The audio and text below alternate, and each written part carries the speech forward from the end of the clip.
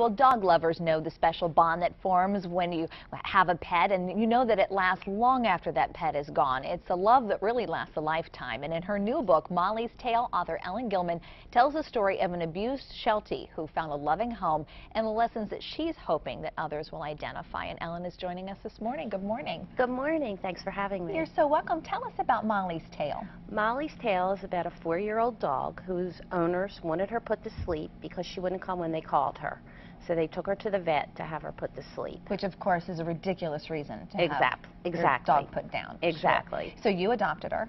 We adopted her, and she turned out to be the love of our lives because she was very different. Mm -hmm. um, she was very badly abused. Mm -hmm and we had never rescued before. Mm -hmm. We, our other dogs had come from breeders, and this was a whole different experience. And so I wrote the book because I wanted people to understand how important it is to rescue and what a wonderful experience it was for us. And there she is right there on the screen. Oh, she's so cute. I was flipping through the book, and you tell a story that really speaks to, I think, every pet owner's fear when this happens. That she actually got loose on Reisterstown Road once. She did get loose on Reisterstown Road. My fault, totally. Um, she had always stayed with me mm -hmm. in the mm-hmm. neighborhood, and so this one time, um, I took her to the vet, mm -hmm. and as we were walking back to the car, something spooked her and she took off across Reisterstown Road, which obviously was not a good thing and I was scared to death and I was running across Reisterstown Road trying to catch her and eventually I got her, but it was a very stupid move on my part. You know part. what? we I can identify that with that. Uh, many dog owners can identify with that for sure.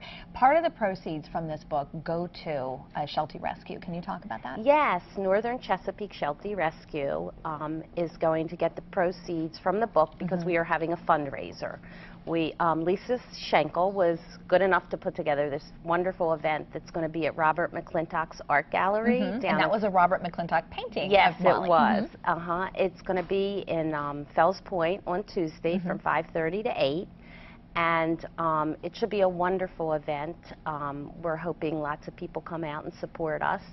And I'm going to be reading an excerpt from Mollie's Tail, and then part of the proceeds that of the book that we sell that night will go to Northern Chesapeake Sheltie Rescue.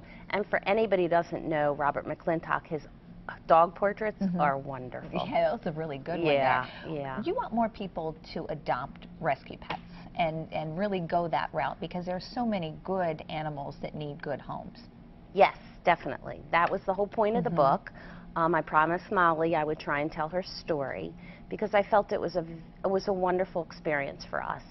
And I really want other people to understand that rescuing is a great way to go, that they can really probably find the dog that they want. There's lots of rescue groups that only... Every breed. Right, exactly. Every breed, many exactly. are purebred, and really rescue pets exactly. give and the I don't think, love. I don't think people know that. Mm -mm. I don't think they're aware of that.